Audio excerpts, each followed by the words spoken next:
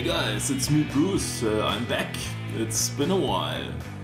And yeah, a lot of stuff um, has happened actually, especially in Boom Beach. As you can see, I'm once again maxed out. And I've got everything going on except for Grenadiers. Um, I'm, I have to admit, I think level 8. Yes. Okay, yeah. But uh, besides that, I'm maxed out, maxed out LCs. And guys, um, I don't know where to start because it's actually almost over, almost I think like three months since the last video. So, so much stuff has happened. Um, very important, I got almost perfect statues now. Magma masterpieces are perfect. And I finally got that 32% building health uh, masterpiece, yes and I also got a 42% gunboat energy masterpiece. So I'm doing not too bad at all, but as you can see I have uh, 3 troop uh, damage guardians and the thing is, um, I just can't get a fucking troop health guardian, it's just not happening. It's, I, I don't know, I build statues and I build statues and it's just not happening.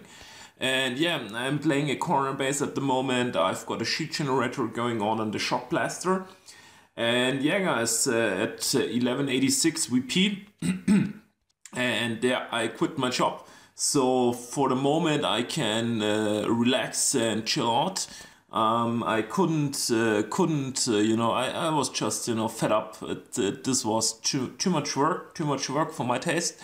And so I'm chilling right now and um, I'm hitting the gym. And besides that, it's German winter, but it's actually not that cold at all. So this is basically a quick recap, uh, recap of uh, what is happening. And the first thing, guys, is I think I will go for Axel. First, I will actually boost some statues because it's the first video in a while. And guys, I actually accumulated quite a lot of power powder. I'm now at 275. Um, the last video I did, I was below 100.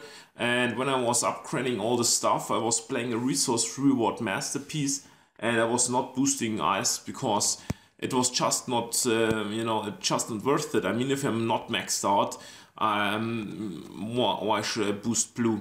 Uh, boost ice. In any way, I'm boosting, I think, four statues um, uh, to Magma Masterpieces and um, uh, the GB Masterpiece plus the GB Guardian. And guys, check it out. Masukas, I've got them to level 1, obviously, uh, level 21, obviously.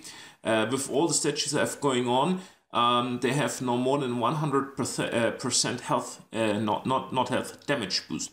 Um, so I'm well above uh, 1080, I think. And in uh, DPS, which is really a shitload. And But the problem is I need that one troop health guardian and I will replace it um, with the troop damage guardian that is only 11%, 13 would be the maximum, the other two are both 13, so yeah, Okay, I think we've covered everything now. Uh, let's go to Axel.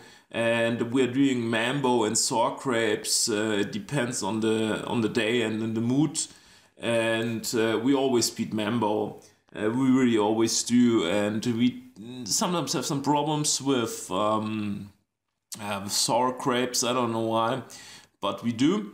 But yeah, okay, so the boost is not really that high and I think I will try to go over the right side. Usually it should work um, unless I fuck it up. And so yeah, let's go for it, attack. And the first thing I really need to do is I, clear, I need to clear a few mines, so that's that's really important. There we go, boom, barrage. Hopefully I can get both uh, boom, boom mines there. But it looks like I fucked that one up already. Still quite a lot of mines there. Um, but yeah, that should be alright. And now I still have really a lot of GB, so I might go for those rocket launchers there. And I will go with two barrages first and then see what's left. And um, it's so nice that um, I have now barrage level 21 and artillery shell level 21. And the rocket launcher stayed the same. So I can do so much more damage now um, with my gunboat abilities because I don't really mind boom cannons. And so yeah, in any way, I think I will use one more artillery shell to clear one more mine here because I'm a bit worried that I step to, uh, through uh, into both mines and then my Zookas will most likely die. And so now let's uh, flare the troops over into the right corner and um, yeah, smoke them up and uh, hopefully I didn't lose too many Zookas there. No, I only lost one Zooka. Um, but that was not the best play there. Let's move over there. And the thing is, I want to smoke myself into position um, to take out those um, rocket launches right there. And guys, this is all quite messy and I've tossed that shock too early because I was a bit worried. And the smoke is only lifting like right now. And guys, please hurry up. I really need to take out those um, rocket launches before they take out my Zookas, okay? Um, that worked very well, or not really very well. It barely worked. It was actually quite a shitty, um, quite a shitty start there. Um, but I still have a few Zookas left, not too many. I, I really messed that one up. I think I lost a few Zookas in the end due to the machine gun. Um, so that was really very sloppy. And as you can see, this is uh, not the most brilliant moment ever, but it's also not too bad. I think I'm. I think I will do it. I'm not entirely sure. Let's uh, smoke, uh, not smoke, flare up there, and get those boom cannons out of the picture. And um, I'm not sure if I will take out that one um, rocket launcher that is uh, to the left behind the core because I think it won't be necessary um, as soon as the the boom cannon is out. I can relocate over here um, to the core, and I think I will go with another another critter box there because there's still two boom mines, so they are gone now. And I'm I think I'm in a quite good position. Let's toss a shock there and just uh, move to the core. And the only question now is will I have enough uh, gunboat and not gunboat energy, but enough damage to take out the core. Um, I mean, I really lost quite a lot of Zooka, so we will see. But um, as we saw before, I have 1080 DPS per Zooka. Um, so those little, this little group of Zookas is actually wrecking the core, which is pretty funny. And uh, yeah, it's going down actually. Also, I played it really sloppy and messy. It's going down. Axel is exploding. And yeah, so this member operation was another success. And it actually went uh, not too bad at all. And yeah, victory, there we go. I lost quite a lot of troops, but okay. And by the way, guys, um, since the update, I mean, the update really changed a lot. And okay, I just realized that I will need to buy an diamond. And usually I do this before I do a video, but in this uh, case I forgot. And let's instantly refinish the troops and yeah, by the way, so um, that update, that, that last update uh, with all the new buildings and the level 21 troops, it really changed a lot. Um, the problem right now is I'm playing 5 boats of heavies and only 3 boats of Zookas um, because my, my heavies, they are just dying too fast. Uh, it's a mess. And the thing is, um, I don't have that troop health guardian and so um, this is why I'm playing 5 boats of uh, heavies at the moment um, I have a lot of damage uh, with the Zookas, so I don't need re I don't really need four boats of Zookas. This is why I'm playing only three. But my heavies are dying pretty fast, so I obviously need more heavies. And this also shows, um, I think, the um, the reasoning behind it. If you if your heavies are dying too fast, you either need one more boat of heavies or you need more troop health statues. And if you don't do enough damage, you either need more Zookas or you need more troop damage, um, troop damage guardians. And um, there's an optimal an, an optimal point uh, you would, would most likely be able to calculate it mathematically. I personally won't bother because I will go with feeling, but there is this optimal point uh, between damage and health for uh, heavies and for Zookas and um, so this is really the reasoning here. And as long as the heavies die too fast I obviously need more heavies or more troop health. And because I don't have enough troop health I obviously need more heavies. And this is why I'm playing 5 boats of heavies. And so yeah the troops are splitting up not in the best way possible. Um, I will lose quite a lot of heavies on the left side due to um, due to the boom mines there, I definitely will shock that cluster on the right side, which is very nice. And I will go with another cluster here. Um, okay, I missed the boom cannon. It's not too bad, but I think it's possible to take the boom cannon too. I will need another shock on the right side because there's still a lot of stuff going on. And it is quite nice that this guy's play, uh, placed his shield generator into the middle Um, that makes it a bit easier for me. And um, as you can see, the heavies are dying pretty fast. So space design is not too bad at all. And uh, hopefully I will be able to take out that uh, mortar um, on the right side ASAP because uh, this would uh, hurt my zookas and I really need those zookas and now I will relocate over to the right side. Um, as you can see there are only zookas uh, left which is a bit uh, problematic but then again it's not really because there's only one boom cannon that actually can hurt me and as soon as the smoke lifts my my zookas will definitely be able to deal enough damage to take this one out I will support them with a medkit there in case the uh, the flamethrower uh, gives off a shot, but it does not. and now all the troop damage is just taking down the headquarters.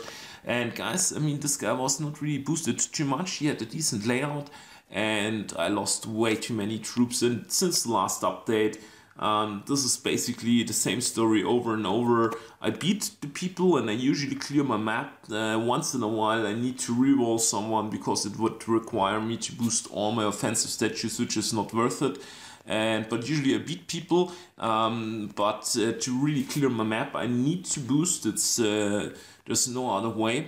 And um, yeah, I also lose so many troops, and um, this is really a bit fucked up um, attack. Okay, I forgot to scout this guy, but I think I remember that he has a similar boost going on as the guy before. And yeah, and anyway, um, I'm losing so many troops, and I was playing um, who, uh, RZM2. Uh, I will most likely um, do one more RZM attack after this one. Um, we will see in a second. Um, it also comes down to the base design once again. And will I be able to take it out? Yes, I was actually able to take it out. Um, so the first two barrages were quite messed up. But guys, I won't bother here. I will just go for it. There we go, boom. So, and the rocket launchers are gone, all of them. And uh, since there's the shield generator on the right side, I will definitely go over the right side and yeah that's pretty much it. But yeah i'm losing so many so many heavies guys i mean it's also obviously um, the the fifth boom cannon uh, does uh, does a lot of damage. So this is why i'm also losing a lot of heavies. But it's not only that. The regular cannons do a lot of damage too. And then there's the shock blaster. And um, people now place um, uh, weapons like uh, the machine gun and the flamethrower more in front um, so in a lot of cases, my critters die too fast because you know I cannot toss them in front of a flamethrower, and so um, this makes it a little bit more difficult. Um, this is especially important to defend against RZM, and uh, so yeah, this is the reason why people do this. Uh, let's uh, shock this one here. And I need to be careful that I don't lose too many zookas there due to the mines, so we'll toss uh, an artillery shell there, and as you could see, um, uh, the mines still hurt Masukas. And I don't have enough uh, people on the right side now. This is a bit problematic. I will now toss a shock over there. And um, I think it will work. Um, I don't see why it won't work. Uh, should should not work, but still, it is it is a mess, guys. It is a mess. I won't uh, I won't uh, talk that one uh, talk that one up. It's a mess. It's definitely a mess, and um, I mean I'm taking it out, and so it's really not too much of a problem. But still, again, I'm losing so many troops. It's ridiculous. I mean, I I might have not. I I think I did not play perfectly, but I did not play it too bad. It is just um, uh, the heavies they're dying. They're just dying so fast. It's uh, and this is, I think, that those 14% from the troop uh, health guardian, they might make a difference. Uh, they might uh, help in keeping the heavies a bit longer alive. And so um, we will see about that. I mean, since that last update and also before that, um, heavies and zookas, if you play them uh, regular, uh, not smoky, not the smoky hooka style as before the shield generator update, um, they're, they're not the best root combination anymore, in my opinion. It is most like a RZM or Scorchers and Zookas. I was also experimenting with that. And okay, I forgot to switch to RZM. I will do one more so. uh, one more like that, and then I will most likely do one more attack with RZM. I will have to see how long the video is running. and anyway, um, Hooka is not really the most uh, most effective troop combination anymore, in my opinion, um, which is a bit unfortunate, but okay. And so I think I will go over the right side here. Uh, we'll just mix it up a bit. And this is this new popular base design, which is Global Rank 1 uh, which Glo uh, Global Rank 1 is using it. And so um, there are a few different um, variations. Um, some of the rocket launchers in the back, sometimes in the front. Um, I usually beat that base. Um, it's really not that difficult, but it's also again the same problem as before. Every single time I lose a shitload of troops, and this is really fucked up uh, because um, when I boost my statues, I usually use, uh, usually use diamonds to speed it up and it has become really quite expensive because I do so many troops and if I use RZM it costs me less diamonds which is actually um, yeah it's nice to to spend less diamonds so this is another reason why I want to play RZM but at the moment I feel like um, I'm losing too many troops with RZM because I still uh, miss that uh, troop health guardian and so you know it's not really it's i mean i do play it but i feel like it would be even more effective if i would if i would have a little bit of more troop health. We'll shock this one over there now.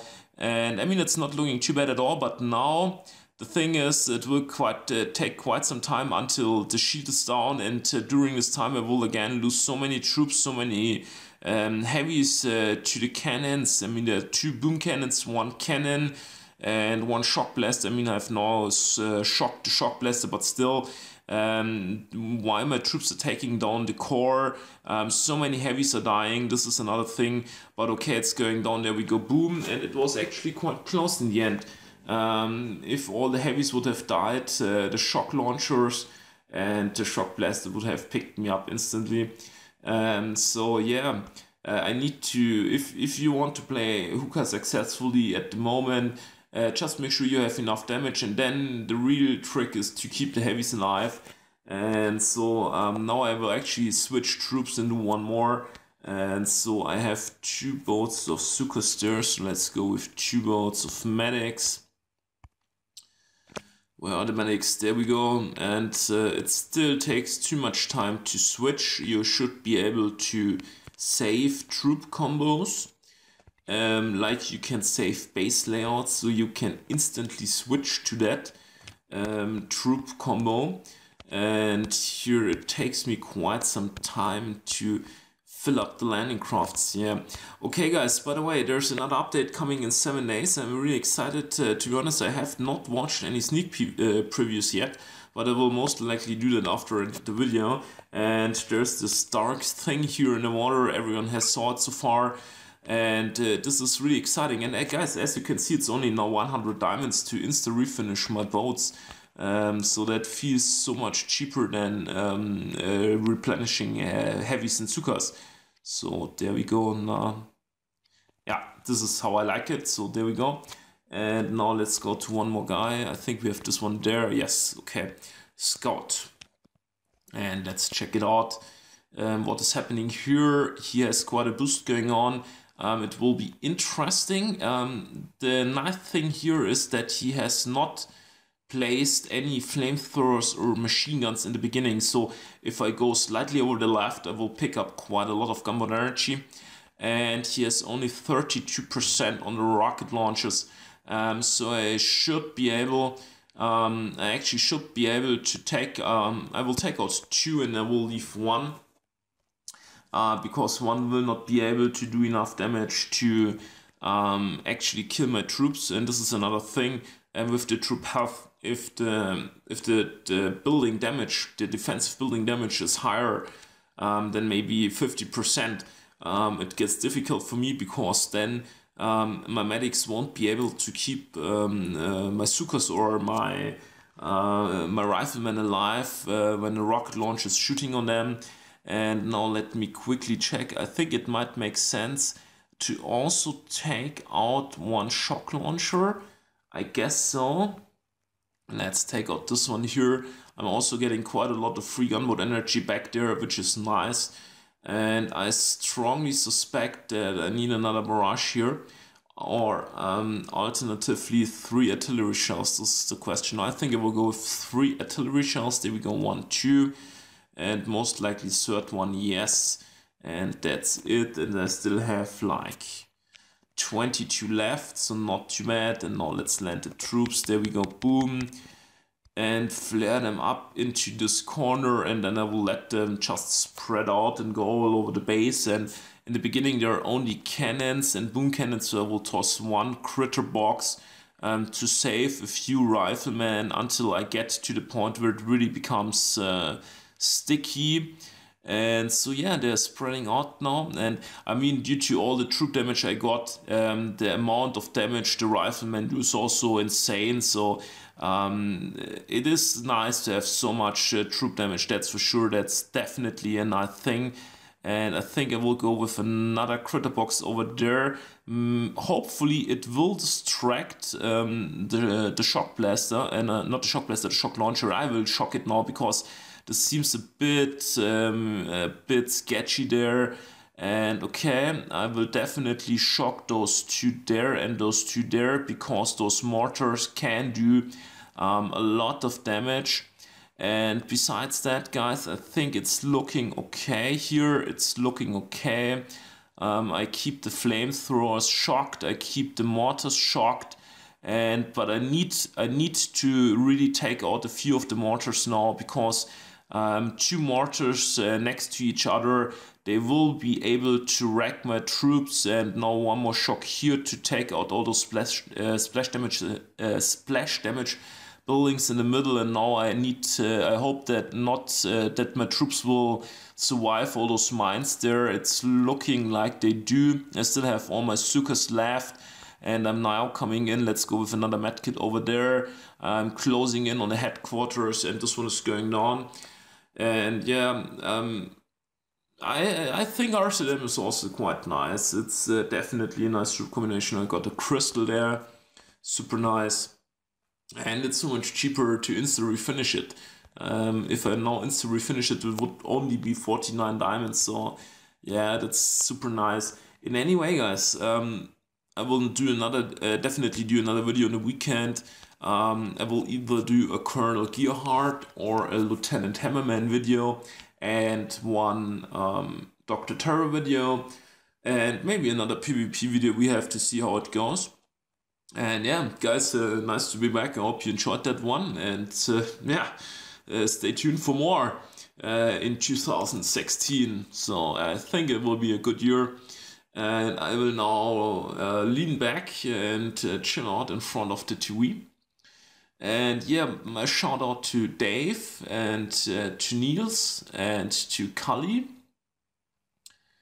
and to everyone else. I'm just, uh, you know, in any way, shout out to you guys and shout out to all my subscribers. And yeah, have a good one, guys. Bye.